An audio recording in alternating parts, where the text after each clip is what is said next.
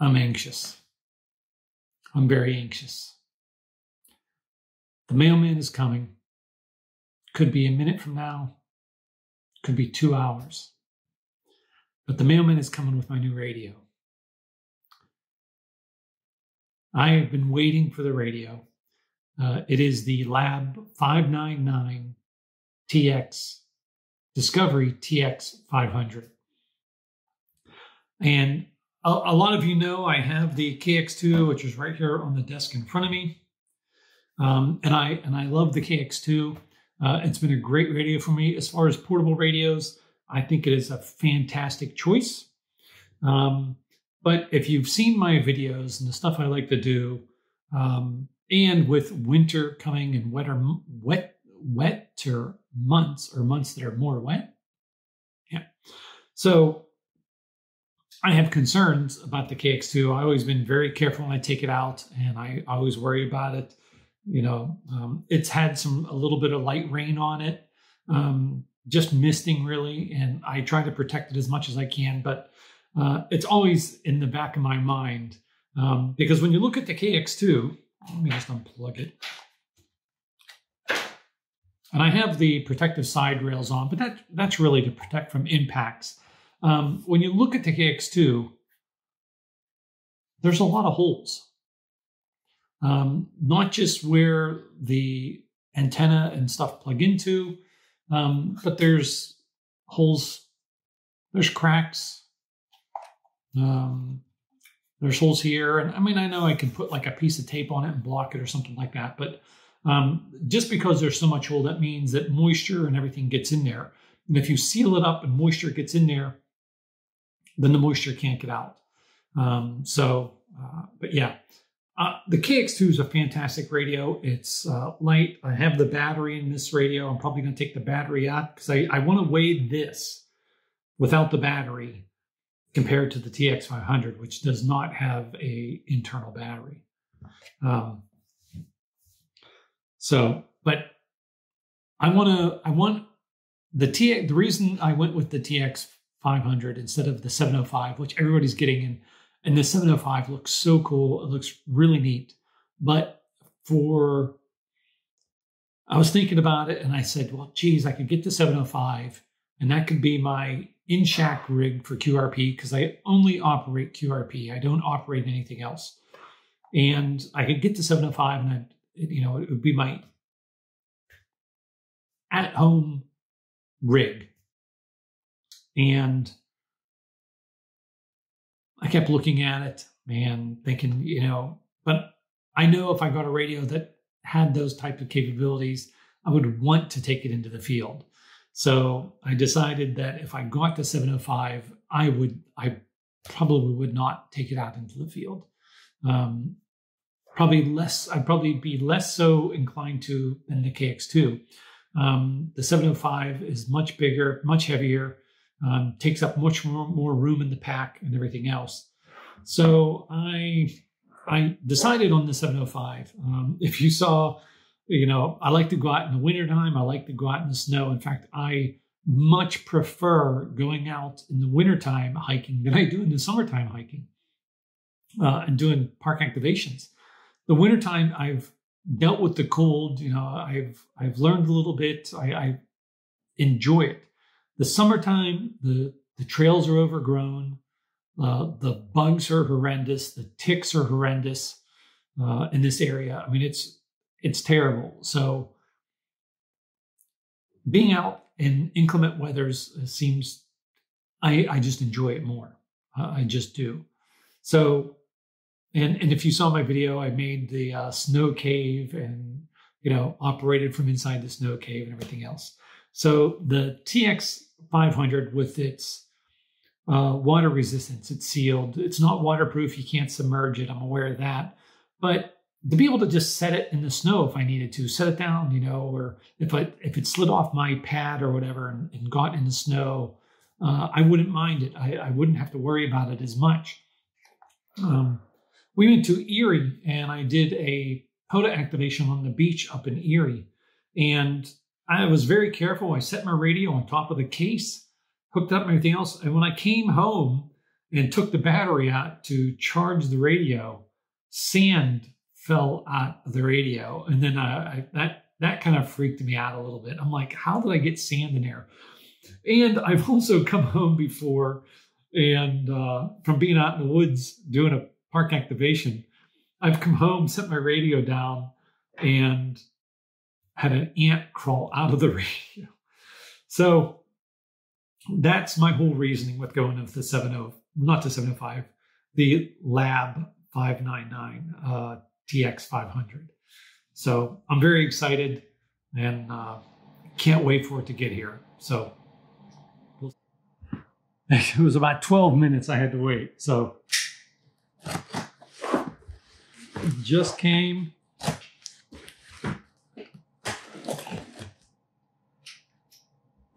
Pretty excited. Peanuts. You don't want no peanuts. Uh, not gonna be able to get out there without making a mess, so let's put these right in the trash. I'm pretty excited.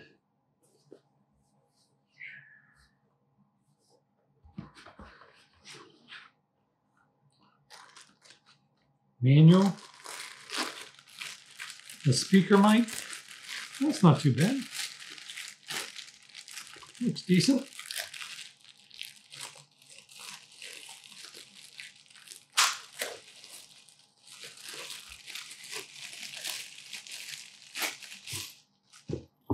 One thing about this type of clip, um, I was thinking when I'm operating out in the field, I can clip this to the MOLLE on my chest harness, uh, and that actually might work pretty well. Look at that.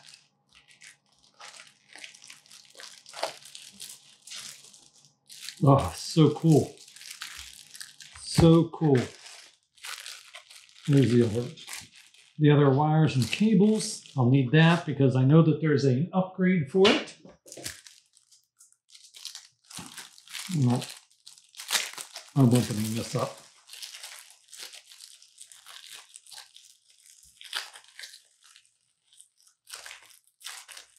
And I can find a place to tear it open. Here we go.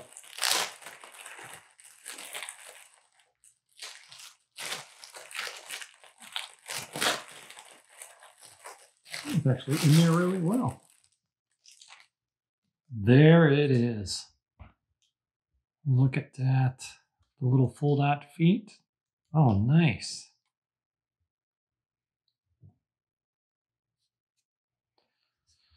Nice.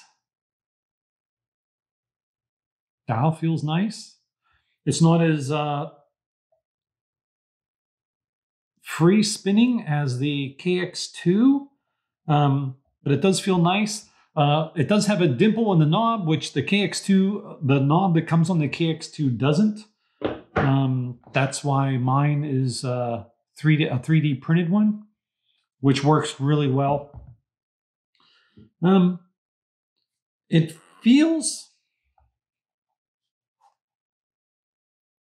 it feels heavier than the KX2.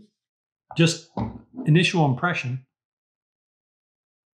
Ah, they're they're they're pretty close, but it does feel it does feel heavier. Um, sits on the desk in a nice angle. Uh, hang on one second. So I have my little uh, kitchen scale here. Let's put the KX2 on there. And it is uh, 15.9 ounces. 15.9. Let's get the KX2 microphone along with it. Let's do this.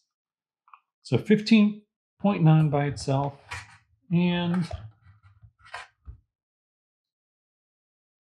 one pound, 5.1 ounces. That's with the, the KX2 and its microphone.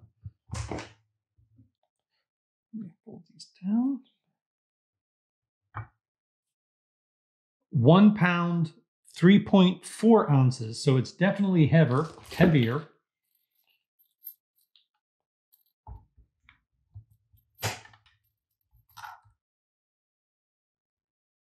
one pound, 8.3 ounces, so a pound and a half. Um, so it is uh, heavier than the KX2 without the battery, but I do have the side rails on the KX2. So that lasts, okay, let's do this. How much is this? The cover, one pound, four ounces, one pound, one ounce. Let's try to put all this on here. I'm just doing this to see. So 1.6, well, one pound, 6.6 ounces. That's 1.8. So even with this, this is about, uh, let's say 1.66. So that's about two ounces heavier. Uh, not quite two ounces heavier. So you have that. Well, well, I'm super excited. Uh, I need to break out all these cables here. I'm super excited because there's an update for the radio that has an SWR graph. And the reason an SWR graph, as opposed to just an SWR number, is beneficial is that you can tune the antenna. So if your dip is before the frequency you want to operate on, you know your antenna is too long. If the dip is after the frequency you want to operate on, you know the antenna is too short. So you don't need to take an antenna an antenna analyzer out into the field to build an antenna. If you set the frequency and you cut some wire roughly to the length you need, you could then look at the SWR sweep, figure out if the intent if that wire is too long or too short, cut it, and and tune your radio.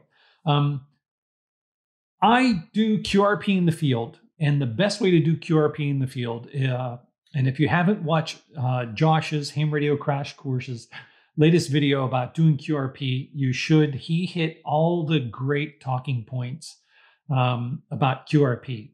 But doing QRP in the field, you need a resonant antenna. There are antennas that work um, that aren't resonant, um, and they're but they don't work as well. And there's antennas that are resonant that, that use coils or other things to tune the antenna, but you're compromising that antenna. The best antenna that I can tell you to use QRP in the field is going to be a dipole. I use a link dipole. The next best antenna that I can think of would be a 49 to 1 end-fed. Um, it is resident, resonant. You don't need to use a tuner with it if you make it correctly, if you cut the antenna correctly and everything.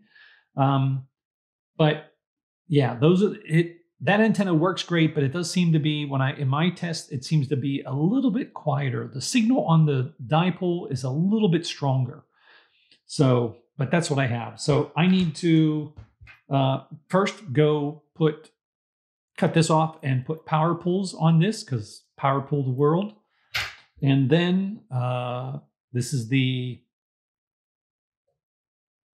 upgrade cable, the cable for CAT interface and for upgrading the firmware. I need to do that. It also comes with the CW adapter. It comes with another spare adapter. I believe this is the, let me my glasses. I think this is the seven pin to make a data cable. Yep, that's the seven, uh, seven pin, so you can make your own data cable, which is great. I was going to order one of those. And they also give you this one. This is the adapter to use a headset. They give you this as well. So they really do include everything you need, but I'm going to get this cut power poles on it and get this puppy turned on so I can look at it. Well, I made my first contact. My first contact was to uh, November 5 Echo Sierra Tango. Are we still here?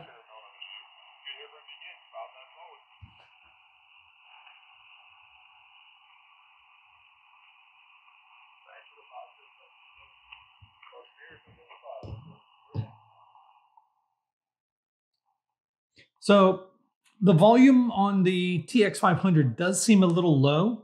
Um, and there's new firmware and there's two settings. There's normal setting, which is one watt output on uh, audio. And then there's outdoor, which is three watt. I have it turned up to three watt. Um, but the KX2 is definitely still louder as far as the speaker goes. But the benefit of this is you can have the speaker up closer to you. So I don't know. Um, I really didn't even have to read the manual that much. Uh, even to disable the beep, the key beep on this is really annoying. It's really loud. It's a really loud beep, beep, beep every time you press a key. Uh, and it doesn't look like there's an, a, volume, a volume adjustment for it. At least I haven't seen that, and I didn't see it in the manual because I did look that up. Um, so I just disabled the key beep. Uh, it's, it's, just way too annoying. Um, it would be nice if there was a volume adjust for the key beeps too, because I do like key beeps, but I do like them to be really faint. Uh, that would be annoying. If I was doing that and my wife was in the other room, uh, she would be yelling at me for making for annoying her. I'm sure uh, it annoys me. So, but uh, yeah, I I soldered and crimped my power pole connections for the radio.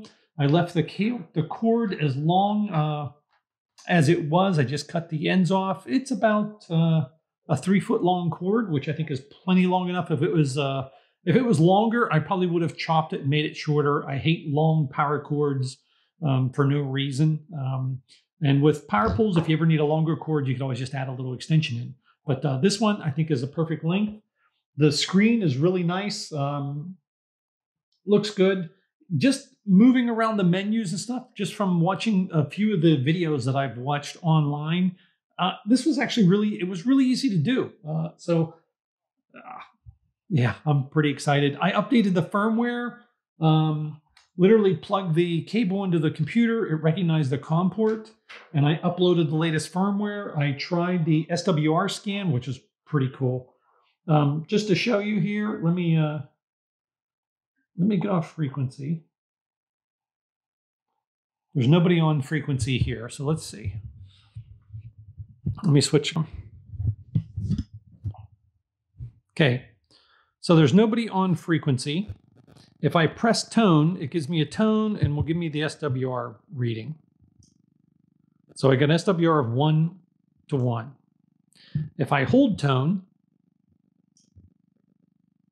it produces a small tone and gives you an SWR plot, which is pretty cool. So let me go uh, down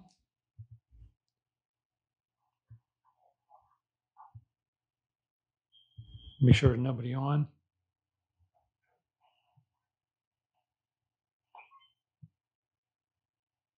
That's good. Let's do an SWR pro here.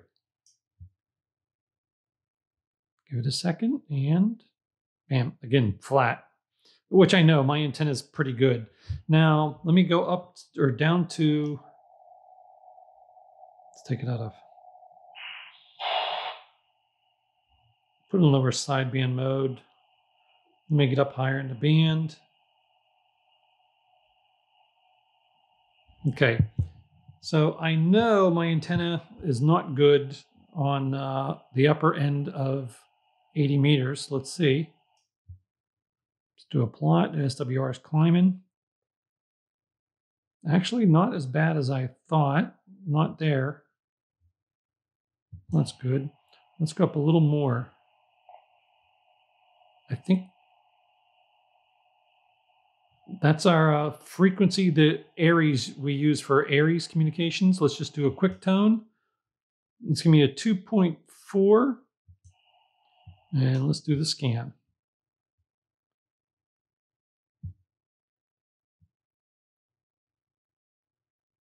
Yeah, so I think over here is the actual frequency I'm using. Um, so I think that's it's up there. So yeah, pretty cool feature. It should be really useful. Um, so far, the radio's been, you know, very cool to to play with. I love the connections, um, and I'm really excited about being able to take this out in the field and not have to worry too much about it. I do have a little case for that um, that I'll show you in a little while. Uh, I bought a, a case that was recommended for all the users recommended it.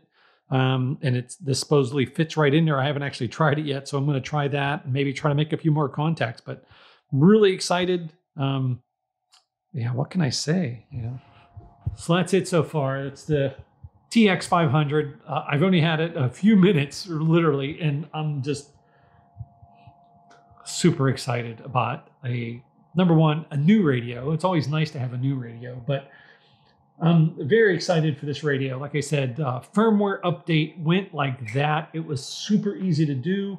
Um, so far, the menus are easy to navigate.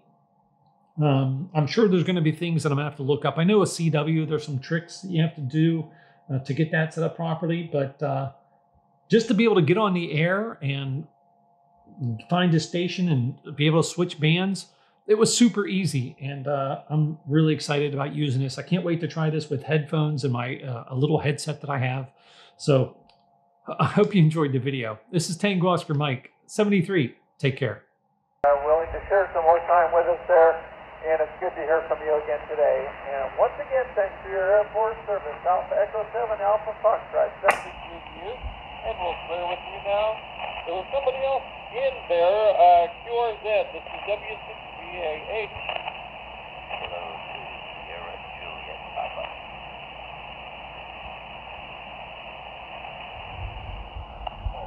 Okay, um, uh, do a couple of things in there, but I'm not comfortable right now. I'm, I'm continuing with our antenna pointing north to kind of avoid some of the, the noise that is getting from the easterly direction. So, uh, thank you. You're also 5 and 9. Just a great signal, Camille. My name is Don, Delta Oscar November, Don. A beautiful 5 9, sometimes 5 over 9 Canada. Uh, back to you, over. Tango Oscar Mike,